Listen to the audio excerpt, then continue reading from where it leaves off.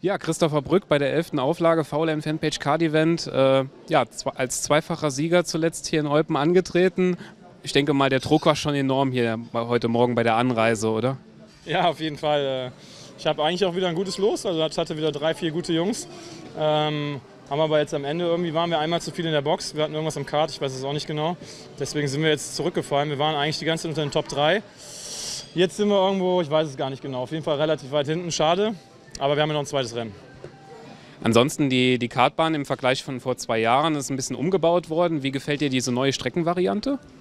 Ja, die machen eigentlich immer schöne Strecken. Also ich finde immer, alles, was die hier machen, noch die Anlage ist toll und wir haben ja viel Platz hier, da kann man mit der Strecke viel variieren und macht, macht riesig Spaß. Anstrengend auch, also es äh, geht schon auf den Körper, aber macht auf jeden Fall super viel Spaß.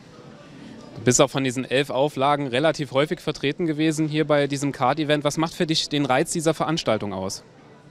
Es ist einfach ein schönes Abschlussevent. Ne? Man sieht nochmal alle seine Kollegen, seine Rennfahrerkollegen und dann halt die, die Fans, die das so ein bisschen äh, ja, steigern will ich nicht sagen, aber da halt dabei sein wollen und mit dir zusammen da den Tag verbringen.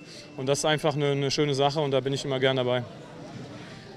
So ein Card-Event ist natürlich auch schon mal so ein, ja, ein Zeitpunkt. Äh, jetzt, wir sind äh, Anfang November für in die Zukunft zu schauen. Gibt es schon irgendwas, was du hinsichtlich 2020 uns schon mitteilen kannst in der Richtung?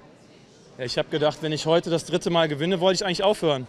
Aber da das nicht passieren wird, muss ich mir was überlegen. Nein, ähm, im Winter ist jetzt so die Zeit November, Dezember, Januar, wo man dann mit den, mit den Teams spricht. Und äh, ich hoffe, dass sich für nächstes Jahr äh, was Vernünftiges ergibt, ein vernünftiges Paket. Dieses Jahr war es nicht ganz so glücklich für mich. Und deswegen hoffe ich, dass da nächstes Jahr was Gutes drin ist. Dann drücken wir dabei die Daumen und viel Erfolg noch heute weiterhin hier in Eupen.